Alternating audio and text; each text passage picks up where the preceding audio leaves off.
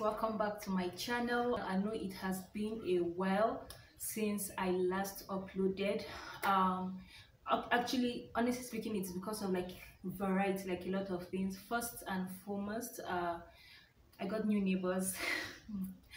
I got new neighbors. So the place is always noisy like always always noisy noisy. Like sometimes i would dress up and do my makeup and like i'm getting ready to record and noise starts. I'm not a confrontational person so i just decided not to say anything about it at all. Just i don't like noise so i've actually been trying to adjust to it and also still at the same time having issues with um not wanting to have an issue with my neighbors like their kids they have to play. So I haven't figured out what to do yet about it and I don't have what's it called? I don't have a ring light. So I'm not able to like record um at night which is something I should look in into. I think that might be my next option. Um, in a different environment because I'm on babysitting duty for today. I've been wanting to record this for the longest because recently I have been getting like um DMs on my Instagram of people that are coming from Nigeria and they would want uh, they are coming to school and they do have like a lot of questions to ask which is understandable. And I think for some reason when they Google Uganda anything on YouTube my videos usually pops up so they end up sending me the end so I just thought based on my experience and everything and it would be a good idea to like um just let people know what they should know uh, or ideas you should have before coming to Uganda. So the first first first thing on my list I would say is when you are choosing um, a place and mind you guys this is for like university. So if you're coming here to for some reason maybe your parents are relocating or anything and you're coming and you're coming here for high school i don't really know. I don't have any experience in their high school system so i can't help with that but for university i would really recommend that you do a, lot of research. You do extensive research and then also try and get someone from that school that you can actually ask questions about the school. Or even you can also get someone that is schooling in uganda but not like in the school so that they can give you a perspective of what they feel about the school. That would help you know if that school is in line with what you want for yourself. Um so honestly and the reason why i'm telling you to do extensive research is because if you discover that you have more foreigners in that school than the citizens then i would highly recommend you run away from that school. Like run as far as possible because honestly speaking if that university had a very like high standard or the, the quality of education was very good you would not be seeing like um what's it called? You won't be seeing like you won't be seeing only international students. So that's just my advice like always try to gauge like do you have like also a lot of um locals people from that country like in that university? And if you if if, if they are not and you're just seeing maybe in only international students from different countries um you should be alert. This next this next one is have an open mind. Um i've had a lot of people like a few people i won't say a lot like send me messages on instagram and they would like ask me about like um oh what should i come with like uh, food and all that like you just want to eat their food. And honestly speaking i feel like it's just waste of money. Like why are you in another country if you only you're only there to just learn the um the just learn like what you came to like education and then like you leave the other social aspects culture like come to uganda with an open mind. Like make sure you learn about the people learn about their cultures learn about um what they, they like to do. You, you understand like even their food try their food. It took me two years to try ugandan food which was like very stupid of me. And then like fish and general is like my favorite thing in this life like honestly speaking. And it took me two years after coming to this country to try it. So try it like just try it. Come with an open mind. And I, I wrote something that i would want to like read to you guys and i said come with a mind to learn about the people and culture and not only about education as it will help broaden your mind. So yeah guys um, let the next thing on my list is guys um uganda does a level which we don't do in nigeria. Like it's not compulsory to do a level like in nigeria.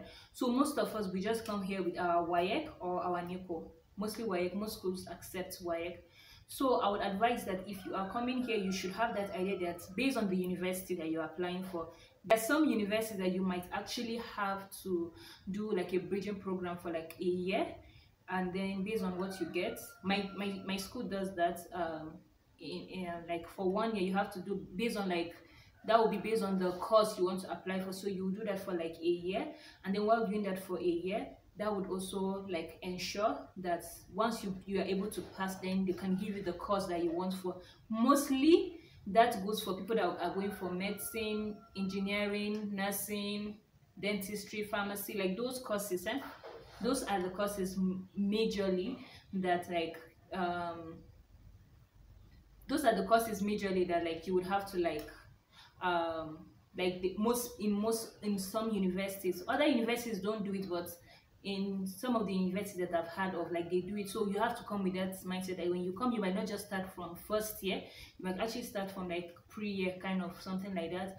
And then after you are done with that bridging program and you've passed, then you move on to the next level. And then because of that, um, their university system is kind of different from us, whereby in Nigeria we don't have like we don't have like three-year courses, we have like four years and, and above.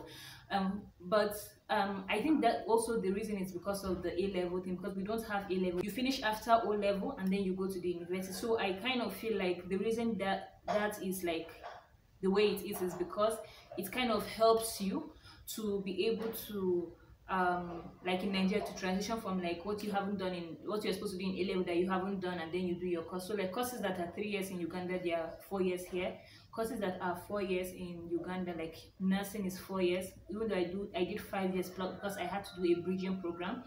But nursing that is like four years here is like uh, five years back in Nigeria, and then like courses that will be like six years in Uganda, which is um, or which would be like five years in Uganda, which is like medicine. That is exclusive of internship, will be like six years in Nigeria. So you should also have that in mind, depending on like the course you are going for. Like you might just do end up doing three years instead of like the four years that you might you, you should have done back back home in Nigeria. So guys, another question that I do get asked a lot here is about food. And like people will be like, there was someone that said something about, oh, I'm going to come with bread or something, which I was like, what do you mean come with bread? Like we have bread here, like please don't insult us.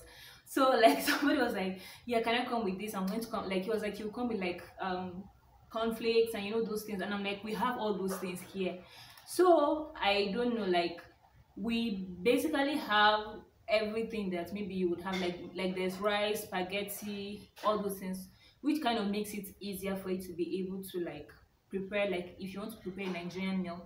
And then we have places that you can actually get nigerian food stuff here. So if you want to get nigerian food stuff you can get. You can also get it from home. It can be cheaper since you're just coming. You can just buy them from nigeria. So like you might want to maybe buy things like um maybe crayfish. We have palm oil here so you don't need to buy palm oil but we have like you can like if you want something like crayfish if you want like egusi like you want to bring them from home that is what most people do here. So like those things you would actually like bring them like those local soup that you know that you wouldn't find here in uganda you can get them from home. But then like when you but but things like rice irish you know those major things like they have we have them here in abundance so you don't have to pack the whole food in your house and bring it to uganda. Like those things are there. So you just have to concentrate on just getting like the those other things that, that i spoke about. The the local things that you know it to be it might be hard for you to get here. Um, especially those soups that are usually not very common. Like maybe it's just known to you in your own like your own tribe or something like that and you know that you won't be able to find it here. But we even you can even get egusi here and other things like so yeah that's something that you should keep in mind. If it's food you're covered. And then like i said earlier i i would highly suggest and advise that you just be open-minded and try their food. Who knows? You might actually fall in love with it. So i did. So just try it. They don't eat chili. So but they sell chili. Like they don't eat chili. Like ugandans don't eat chili in their food but you can actually buy them in certain places. They're not like as rampant as you would get back home, but you have like certain places that sell chili and you can go and get them there. And then also, depending on the university that you go to, um, Ugandan's education can be quite expensive. There are a lot of people that have asked me actually, like a lot of like like oh how much do you pay in your school? How much is tuition for a certain course? Especially when you're going for courses like nursing, medicine, all those courses that tend to be like expensive. And then as a foreigner, you, you won't pay the same as like a like a citizen. It's everywhere, like it's a new thing. Like when you're going to any country, you pay more than that's what that citizen is paying. So you should have that in mind that um you might actually have to pay a lot because there are a lot of people that would ask me questions like, oh, how much uh how much is the tuition for this? And I would tell them and they are shocked. I'm like, why are you shocked? So I think because they have this idea in their head that oh it's Uganda, it shouldn't be expensive. My dear, it's expensive, or especially knowing that now Naira is crashing. Like we all know, Naira is crashing. The value of Naira is not what it used to be before. So your parents might have to like actually pay more than they would usually have done maybe like five years, five, six, seven years ago. Um, so that's something that you should also have in mind also i want to advise that if you're coming to uganda like i can't stress this enough make sure you know someone like i know someone that stood up and actually sent me a message i think a day or actually was leaving that day and the person had sent me a message and the person was like oh i'm coming to uganda and he was attending he was coming going to kiu western campus and when people hear KIU, it happened to me, so I'm not judging, but it happened to me. I first started in KIU Western Campus, and I remember when I when you hear Kampala International University, you think, oh, it's in Kampala. My dear, Kampala International University, when you hear when you see Western Campus, it's not in Kampala. Kampala International University Western Campus is in the western part of Uganda. So you have like once you drop in Entebbe and then they bring you to Kampala, you have another journey that you have to journey like for like six to seven hours.